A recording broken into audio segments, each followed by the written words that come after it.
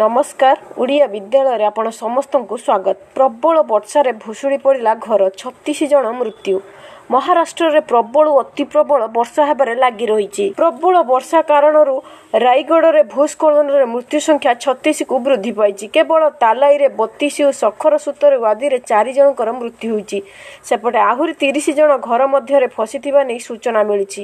ଗତ ତିନି ଦିନ ହେବ ମୁମ୍ବାଇରେ ଲଗାତାର ପ୍ରବଳ ବର୍ଷା ହେବା କାରଣରୁ ଏମିତି ଘଟିଛି ବା କୋଠା ଭୁଷୁଡ଼ି ପଡ଼ିଥିଲା। ପ୍ରଥମେ ତିନି ଜଣଙ୍କର ଏହି ଦୁର୍ଘଟଣାରେ ମୃତ୍ୟୁ ହୋଇଥିଲା ବେଳେ ବର୍ତ୍ତମାନ ସମୟରେ ତାହା ବଢ଼ି ଛତିଶରେ ପହଞ୍ଚିଛି। ଏହା ସହ ମୁମ୍ବାଇରେ ଗୁଭାଣ୍ଡି ଅଞ୍ଚଳରେ ଦୁଇ ମହଲା କୋଠା ଭୁଷୁଡ଼ିବାରୁ ଅନ୍ୟ ଦଶ ଜଣ ଆହତ ମଧ୍ୟ ହୋଇଛନ୍ତି। ଖବର ପାଇ ବିଏମ୍ସି ଅଗ୍ନିଶମ ବିଭାଗର କର୍ମକର୍ତ୍ତାମାନେ ଉଦ୍ଧାର କାର୍ଯ୍ୟରେ ଲାଗିଛନ୍ତି। ଗତ କିଛି ଦିନ ହେବ ପ୍ରବଳ ବର୍ଷା ଯୋଗୁଁ ମୁମ୍ବାଇରେ ଅନେକ କୋଠା ଭୁଷୁଡ଼ିବାର ଖବର ମିଳୁଛି। ପ୍ରବଳ ବର୍ଷା ଯୋଗୁଁ ଗତ ସପ୍ତାହରେ ମୁମ୍ବାଇର କୋଠା ଭୁଷୁଡ଼ିବାର ଅନେକ ଘଟଣା ଘଟିଛି। ଶୁକ୍ରବାର ଦିନ ମୁମ୍ବାଇ ଏବଂ ଉପାନ୍ତ ଅଞ୍ଚଳରେ ମଧ୍ୟମରୁ ପ୍ରବଳ ବର୍ଷା ଓ ବଜ୍ରପାତ ହେବାର ପୂର୍ବାନୁମାନ କରି ପାଣିପାଗ ବିଭାଗ ସତର୍କ କରିଛି।